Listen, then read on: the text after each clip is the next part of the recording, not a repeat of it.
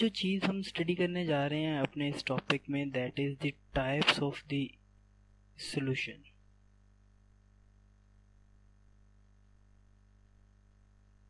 कि सॉल्यूशंस की कौन कौन सी टाइप्स जो सी हैं वो हमारे पास मौजूद हो सकती हैं। वी नो कि सॉल्यूशन कब बनता है कि जब भी एक सोल्यूट जो होता है वो एक सॉल्वेंट के अंदर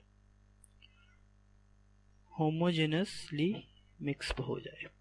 होमोजेनस का मतलब है इक्वली उसकी सारी कंपोजिशन सेम जगह पे हो। होमोजेनसली जो सा है, वो मिक्स हो जाए तो हम कहते हैं जी कि हमारे पास सोल्यूशन बन गया है।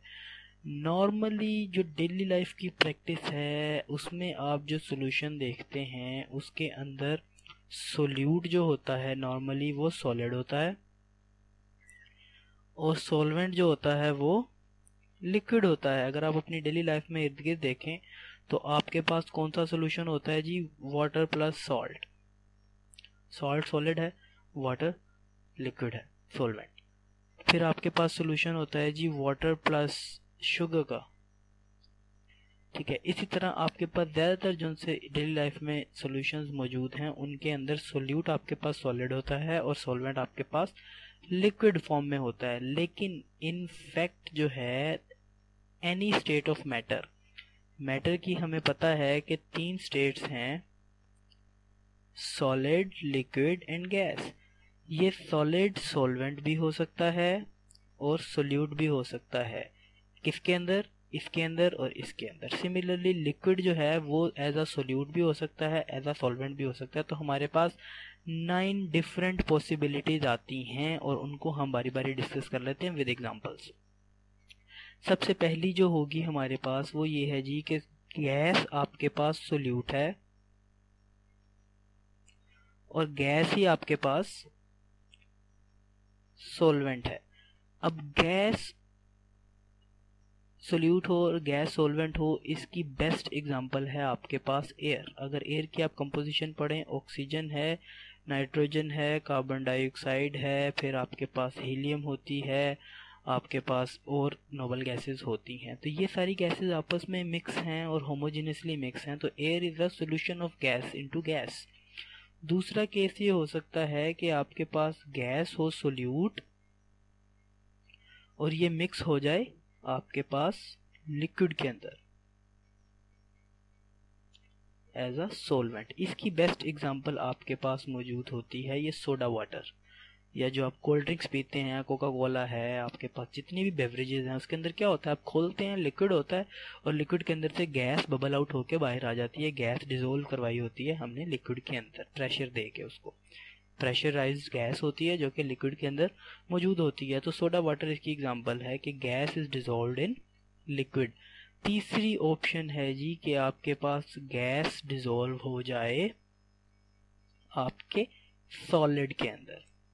सॉलिड आपका सॉल्वेंट हो। तो इसकी एग्जांपल आपकी बुक में एक टेबल भी बना हुआ है, उसमें भी ये सारी एग्जांपल गिवन है hydrogen adsorbed by palladium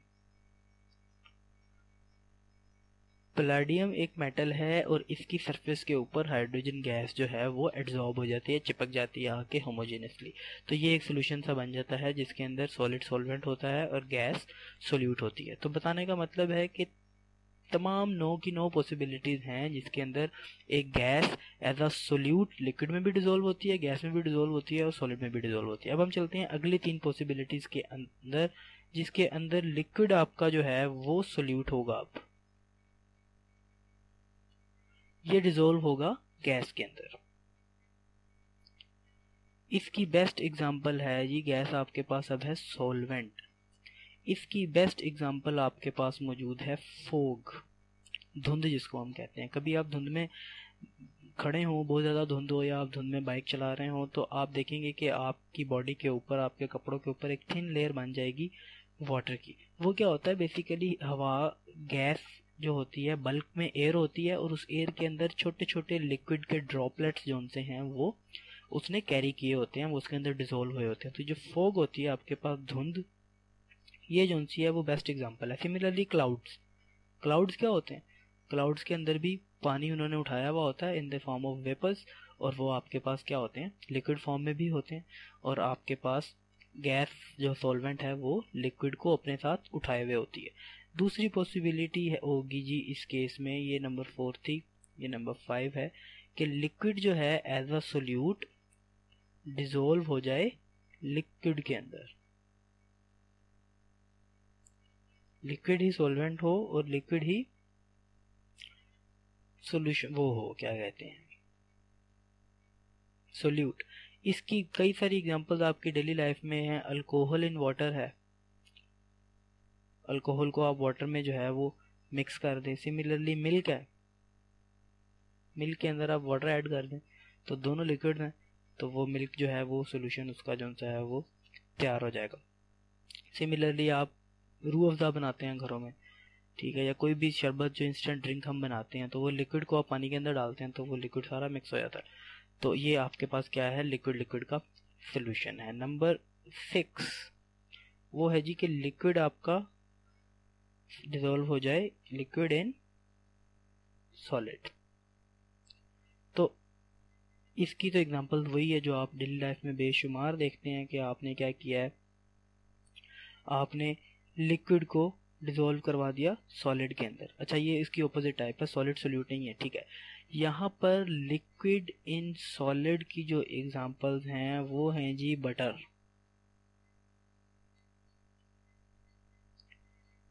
butter आपके पास जो मक्खन होता है बेसिकली उसके अंदर क्या हुआ होता है कि होता वो सॉलिड है, लेकिन उसके अंदर वो नरम नरम लिक्विड था, उसके अपने साथ कैरी किया होता है। सिमिलरली जो चीज़ होती है चीज़ भी हमारे पास एग्ज़ाम्पल है कि लिक्विड सोल्यूट सॉलिड के अंदर डिजोल्व हुआ हुआ है। अब हम चलते हैं अपनी नेक्स्ट जो उनसी तीन टाइप्स हो सकती हैं। नंबर सेवन वो है जी कि सॉलिड अब हमारे पास सोल्यूट है। सॉलिड इन गैस कि गैस के अंदर क्या हो? सॉलिड मौजूद हो। इसकी एग्जांपल आपके पास है जी डस्ट पार्टिकल्स किसके अंदर? इन एयर या इन स्मोक धुएँ के अंदर जो छोटे छोटे डस्ट पार्टिकल्स हैं तो गैस बल्क क्वांटिटी में है गैस ज़्यादा क्वांटिटी में गैस सॉल्वेंट है, उसके अंदर छोटे छोटे सॉलिड के पार्टिकल्स उसने कैरी किए हुए हैं। तो ये आपके पास क्या है? या कभी आप लाइट जब किसी बारीक जगह से आ रही होती है तो उस लाइट की रेज के अंदर छोटे छोटे ज़रे आपको जो उनसे हवा के अंदर उड़ते नज़र आ रहे होते हैं तो वो बेसिकली एक सोल्यूशन होता है डस्ट पार्टिकल्स का इन स्मोक या in air number eight is the solid in liquid ये आपके पास डेली लाइफ का जो सा है, वो सोल्यूशन है। जैसे कि आपके पास शुगर का सोल्यूशन हो गया सॉल्ट का सोल्यूशन हो गया, कोई भी पाउडर आपने मिक्स कर दिया वाटर के अंदर, किसी भी चीज़ के अंदर तो ये तो कॉमन एग्जांपल है। एंड नंबर नाइन वो है जी कि आपके पास सॉलिड जो है, वो सोल्यूट भी सॉलिड हो और लिक्विड भी सॉलिड हो। ए, आपके पास सॉल्वेंट भी क्या हो? सॉलिड तो सॉलिड इनटू सॉलिड का जो सोल्यूशन होता है that is called metal alloy अगर आप रिकॉल करें अपनी प्रीवियस क्लासेस को तो alloys basically are the mixtures of different metals तो ये जो है हमारे पास नो डिफरेंट टाइप्स जो सी हैं, वो हो गई हैं about the different types of solution तो ये तो जनरलाइज था, हमने इस पर थोड़ा टाइम ज़्यादा लगा दिया, हमने पूरे टेबल को आपकी बुक में भी गिवन एक्सप्लेन कर दिया सो दैट यू नो कि आपके पास तमाम डिफरेंट जो सी फॉर्म्स हैं, उनकी आपके पास बन सकती है। अब पहला जो सा केस है, वो हम लेके चलेंगे कि जो कि बहुत ज़्यादा कॉमन है और उसकी केमिस्ट्री हम समझेंगे कि solution of solids in liquids. Solids dissolve हो जाएँ लिक्विड्स के अंदर तो उस सॉल्यूशन की केमिस्ट्री या उन सॉल्यूशंस के अंदर क्या काम हो रहा होता है, उसको जो है हम वो स्टडी करते हैं। सिंपल सी बात एक जो आपने याद रखनी है कि कोई भी चीज़, मैं कहता हूँ जी मेरे पास एक सिस्टम था वन और एक सिस्टम था टू इसके अंदर मैंने ए सोल्यूट डाला सेम सॉल्वेंट के अंदर। इस सेम सॉल्वेंट के अंदर मैंने बी सोल्यूट डाला। ए डिजोल्व हो गया। और ये डिजोल्व नहीं हुआ नो डिजोल्यूशन तो इसकी क्या वजह है? एक चीज़ डिजोल्व हो गई, दूसरी चीज़ डिजोल्व नहीं हुई। तो इसका जनरलाइज और बेसिक कॉन्सेप्ट जो है आपके माइंड में वो ये होना चाहिए कि आपको पता है कि आपने सोल्यूट डाला। ये सोल्यूट का पार्टिकल है। ठीक है जी। ये सोल्यूट के पार्टिकल्स एक दूसरे को अपनी तरफ़ अट्रैक्ट कर रहे हैं। They have the forces of attraction इनके इर्द गिर्द जो खाली अब मैं गोल दायरे बना रहा हूँ blank circles with no cross ये कौन से हैं जी? ये सोलवेंट के पार्टिकल आपने सोल्यूट को उठाया और सोलवेंट के अंदर डाल दिया। एक फोर्स वो है जो कि सोल्यूट की सोल्यूट के साथ फोर्स है आपस में। दूसरी फोर्स है जी जो सोलवेंट सोलवेंट की आपस में फोर्स है। ये फोर्सेस तो मौजूद हैं। ठीक है जी? अब एक फोर्स वो है जो कि आपके पास मौजूद है सोलवेंट टू सोल्यूट की। ये जो ब्लैक लाइन से अब मैं आपको बनाकर दिखा रहा हूँ। ये जो हमारे पास सोलवेंट टू सोल्यूट सोलवेंट और सोल्यूट की जो फोर्स है ना, ये डिपेंड करेगी कि इस पार्टिकल ने इसके अंदर डिजोल्व होना है या नहीं होना। अब अगर तो सोलवेंट सोल्यूट को इतनी ज़्यादा फोर्स से खींचे, जितनी फोर्स से सोल्यूट सोल्यूट को आपस में खींच रहा है तो तो ये इससे अलहदा हो जाएगा। लेकिन अगर इसकी खींचने की ताकत उस फोर्स से कम है तो वो कभी भी उसके अंदर डिजोल्व नहीं होगा। ज़ाहिर सी बात है कि अगर दो बॉडीज हैं, ये एक दूसरे को अपनी तरफ़ खींच रही हैं। मैं चाहता हूँ कि ये बॉडी अलहदा हो जाए, ये बॉडी अलहदा हो जाए। तो मुझे क्या ये वाली फोर्स ज़्यादा लगानी पड़ेगी? लार्ज फोर्स अगर ये फोर्स स्मॉल होगी तो ये क्या कभी ये अलहदा हो सकेंगे? ये अलहदा नहीं हो सकेंगे। तो यही बात है कि जिस फोर्स से सोल्यूट सोल्यूट आपस में एक दूसरे को खींच रहे हैं, उनको अगर सेपरेट करना है तो सोलवेंट को उससे ज़्यादा फोर्स लगानी पड़ेगी। नतीजा ये समझ आया केमिस्ट्री ये समझ आई कि सोलवेंट और सोल्यूट की पावर जौन सी है, कि फोर्स जौन सी है सोलवेंट को सोल्यूट को अपनी तरफ़ के खींचने की जो फोर्स है, अगर वो सोल्यूट की आपस की फोर्स से ज़्यादा है तो वो उसके अंदर डिज़ोल्व हो जाएगा, और अगर वो ज़्यादा नहीं है तो वो उसके अंदर डिज़ोल्व नहीं होगा। तो ये बेसिक प्रिंसिपल है अबाउट द डिसोल्यूशन के, कोई भी चीज़, कोई भी सॉलिड आप लिक्विड में डालते हैं तो वो डिज़ोल्व कैसे हो जाता है, किधर जाता है, वो यही होता है कि सोल्यूट के पार्टिकल सेपरेट हो जाते हैं, उनको सोलवेंट के पार्टिकल अपने तरफ़ खींच लेते हैं। तो ये तो था जी आपके पास जनरल प्रोसेस ऑफ़ डिसोल्यूशन कि किस तरह जो सा है आपके पास डिसोल्यूशन जो है वो होती है। अब आपके पास दो तरह के जो से हैं सोल्यूट पार्टिकल्स हो सकते हैं। सॉलिड पार्टिकल्स होंगे सोल्यूट के तो ये दो तरह के हो सकते हैं, एक हो सकता है पोलर और एक हो सकता है जी नॉन पोलर अब नॉन पोलर सोलवेंट का मतलब है कि इसके अंदर जो फोर्सेस ऑफ़ अट्रैक्शन हैं, वो वीक फोर्सेस ऑफ़ अट्रैक्शन हैं, वो लंदन डिस्पर्शन फोर्सेस हो सकती हैं, वो जो सी हैं वेंडरवॉल्स हो सकती हैं। ये बड़ी वीक फोर्सेस हैं नॉन पोलर जो से कंपाउंड हैं, इनके अंदर जो सी फोर्सेस हैं, वो खासी जो सी हैं, वो कम हैं। इनको जो से हैं, इनके जो से क्रिस्टल्स हैं नॉन पोलर सॉल्वेंट्स के, वो सोल्यूट्स के, वो हमेशा डिजोल्व होंगे किसके अंदर? नॉन पोलर सॉल्वेंट्स के अंदर।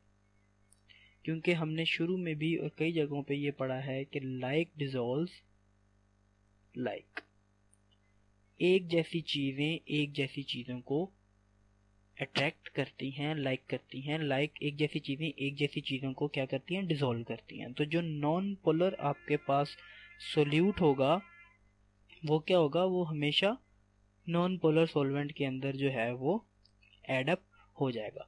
पोलर सॉल्वेंट्स की हम बात करते हैं, जो कि नॉर्मली क्या होते हैं, इनके दरमियान आयनिक फोर्सेस होती हैं। अगर मैं कहता हूँ एनएससीएल तो N S is a polar compound और ये आपस में एक दूसरे को बहुत ज़्यादा डिजोल्व कर, बहुत ज़्यादा फोर्स से अट्रैक्ट कर रहा होता है।